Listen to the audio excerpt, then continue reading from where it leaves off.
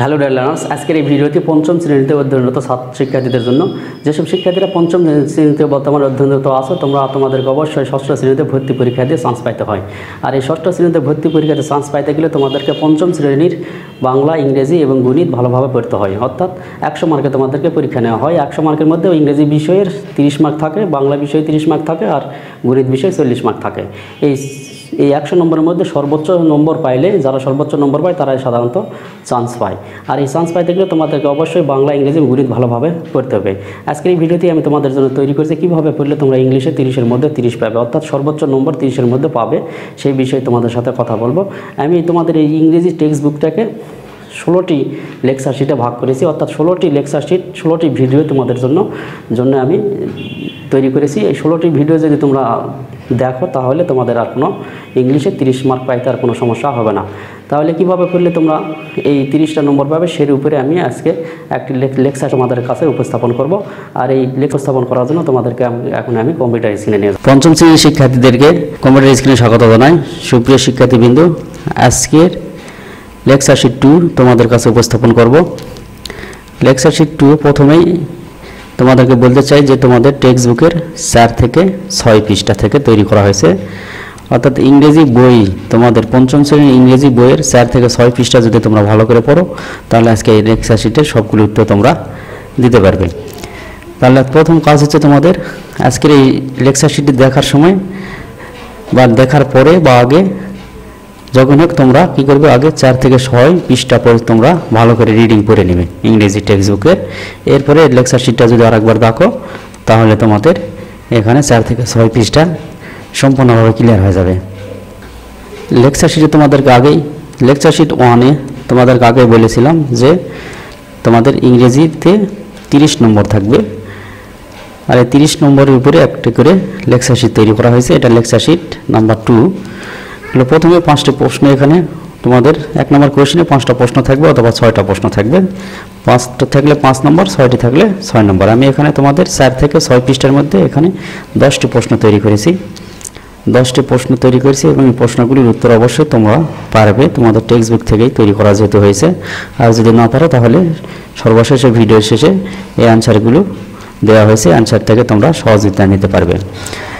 তাহলে এখানে মোট প্রশ্ন আছে দশটা শর্ট আকারে দশটা প্রশ্ন তোমরা এখান থেকে টেক্সট বুক থেকে তোমরা দেখে নিবে বা এখান থেকে দেখে নিতে পারবে। এরপরে এখানে সিমিলার ওয়ার্ড এবং অপোজিট ওয়ার্ড তৈরি করা হয়েছে। এটা তোমাদের টেক্সট বুক থেকেই ওয়ার্ডগুলো নেওয়া হয়েছে, তবে সিমিলার এবং অপোজিট ওয়ার্ডগুলো আমি তৈরি করে দিয়েছি যে ওয়ার্ডস যেখানে লেখা আছে, এই ওয়ার্ডগুলো তোমাদের টেক্সট বুকে আছে, এই চার থেকে ছয় পৃষ্ঠা মধ্যে। তারপরে এখানে আছে ওয়ার্ড এই ওয়ার্ডগুলো তোমাদের টেক্সট বুকে রয়েছে। আর এরপরে ওয়ার্ডগুলো হলো কাম। এই কাম শব্দটি তোমাদের চার থেকে ছয় পৃষ্ঠার মধ্যে আছে। কাম মানে অসা। আর অপোজিট ওয়ার্ড এখানে বলা হয়েছে অপোজিট অথবা অ্যান্টোনিম দুটো একই ইংরেজি অপোজিট বিপরীত শব্দ বা অ্যান্টোনিম বা বিপরীত শব্দ। তাহলে কাম হলো আশা গো হলো যাওয়া, বিপরীত শব্দ। এরপরে সিমিলার হল অ্যারাইভ মানে পৌঁছা। নিউ মানে নতুন। আর ওল্ড হলো পুরাতন। এরপরে নিউ নিউয়ের মডার্ন মানেও নতুন বা আধুনিক। ইয়াং হলো যুবক, ওল্ড মানে বৃদ্ধ, আর জুবেনাইল মানেও ইয়াং মানে যুবক। জেন্টেল মানে ভদ্র, রাত মানে খারাপ, পলাইট মানে ভদ্র। রাইট মানে সঠিক রং মানে ভুল, কারেক্ট মানে সঠিক। তাহলে এটার হলো সিমিলার ওয়ার্ডটা সিমিলার বা সিনোনিম ওয়ার্ড হলো এই পাশে, আর এটা হলো অপোজিট ওয়ার্ড বা antonym word sure unsure sure মানে নিশ্চিত আনশিওর মানে অনিশ্চিত সার্টেন মানে নিশ্চিত। এরপরে এই ওয়ার্ডগুলো তোমাদের বইয়ে টেক্সট বুকে দেওয়া আছে, চার থেকে ছয় পৃষ্ঠা থেকে নেওয়া হয়েছে। ফাইন মানে ভালো আনঅয়েল অয়েল বিপরীত শব্দ। ফেয়ার মানে সুন্দর ব্যাড মানে খারাপ ফাইন মানে সুন্দর। Like dislike love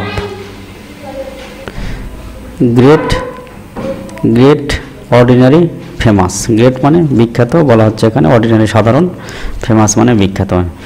না মানে এখন, দেন মানে তখন। কারেন্টলি মানে সম্প্রতি বা এখন। সরি মানে দুঃখিত গ্ল্যাড মানে আনন্দিত।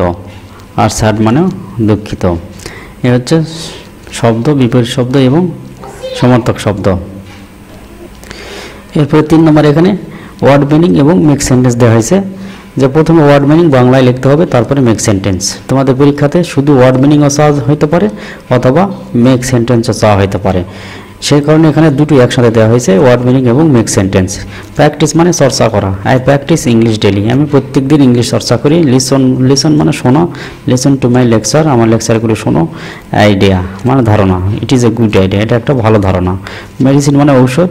We take medicine to cure from disease অসুখ থেকে রক্ষা পাওয়ার জন্য আমরা ওষুধ গ্রহণ করি রাইট মানে সঠিক? হি ইজ অলওয়েজ রাইট সে সবসময় সঠিক। ইন্ট্রোডিউস মানে পরিচয় let us introduce our self আমরা নিজেদের মধ্যে পরিচয় হই। জেন্টলম্যান মানে ভদ্রলোক his father is a gentleman তার বাবা একটু ভদ্রলোক। Activity your activity disappeared me তোমার কার্যকলাপ আমাকে হতাশ করেছিল। এটা হলো, তাহলে তিন নম্বরের পর চার নম্বর আছে ফিল ইন দ্য গ্যাপ তোমাদের টেক্সট বুক থেকে তৈরি করা হয়েছে fill in the gap fill in the gap হলো, Seema and Tamal come to the club to dash English এরপর B number the new person is dash a book he is working with an dash here D number and is going to the dash Tamal has to take to his dash to his grandmother তোমরা অবশ্যই চার থেকে ছয় পৃষ্ঠা যদি পড়ে থাকো, তাহলে এই ফিল ইন দ্য গ্যাপগুলো অবশ্যই পূরণ করতে পারবে।